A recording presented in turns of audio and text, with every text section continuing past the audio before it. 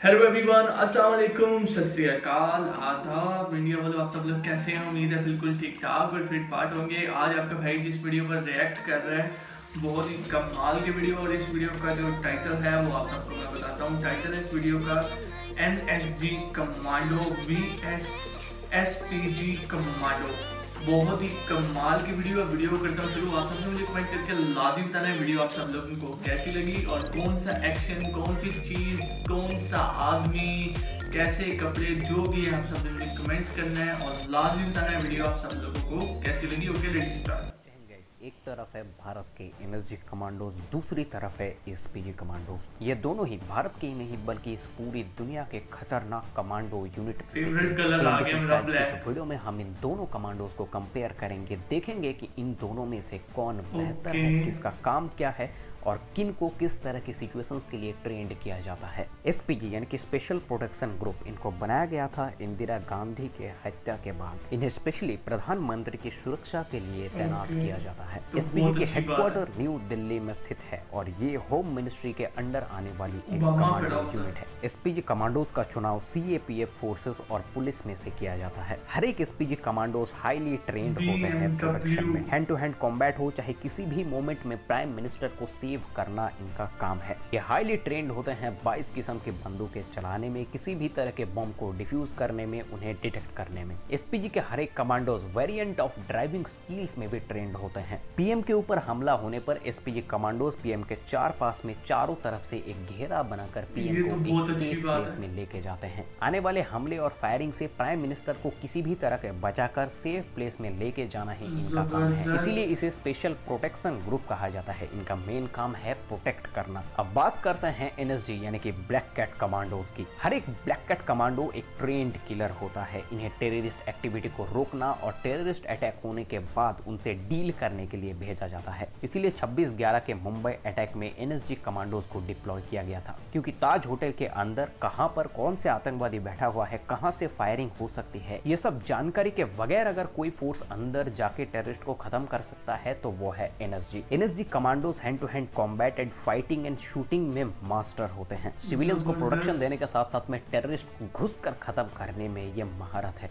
तो एसपीजी और एनएसजी में मुख्य डिफरेंस ये है कि एसपीजी एक प्रोटेक्शन कमांडो यूनिट है वहीं पर एनएसजी भी दो तरह से डिवाइडेड होते हैं। एक स्पेशल एक्शन ग्रुप और दूसरा स्पेशल रेंजर ग्रुप एनएसजी का मेन काम होता है टेररिस्ट एक्टिविटीज़ को रोकना। अब टेररिस्ट एक्टिविटीज़ को रोकने का मतलब है टेररिस्ट को ठोकना। इसीलिए डायरेक्ट एक्शन में हमेशा से एनएसजी कमांडोज एसपीजी से आगे रहेंगे। वहीं पर जब बात आएगी प्रोटेक्शन देने की तो एसपीजी से बेहतर कोई फोर्सेस दुनिया में नहीं है। आशा करता तो आप सबको ये वीडियो पसंद आई होगी। वीडियो पसंद आने पर वीडियो को लाइक कीजिए दोस्तों में शेयर कीजिए सब्सक्राइब वीडियो आप सब लोगों को कैसी लगी मुझे कमेंट करके लाजमी बताना है और ब्लैक कलर तो आप सबको पता है कि मेरा फेवरेट है और ये बहुत ज़्यादा अच्छी बात है कि ये प्रधानमंत्री साहब के लिए नरेंद्र मोदी साहब के लिए इन्होंने ये फौज कमांडो रखे हुए जो उनकी केयर करें जैसे उनकी बी के ऊपर हमला होने लगे और ये मेरे ख्याल ये पीछे पीछे ही रहते हैं। जैसे कोई हमला या कोई भी सिचुएशन बने तो ये साथ ही उनको कवर कर देते हैं और उनकी हिफाजत करते हैं। ये